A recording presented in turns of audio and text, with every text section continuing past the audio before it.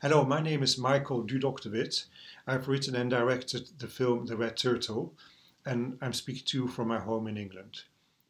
I've just heard from the Athens International Film Festival that The Red Turtle has won the Audience Award and the special jury mention. This is fabulous. This is fantastic. Thank you so much. Thank you, audience, thank you, jury, and especially thank you, festival.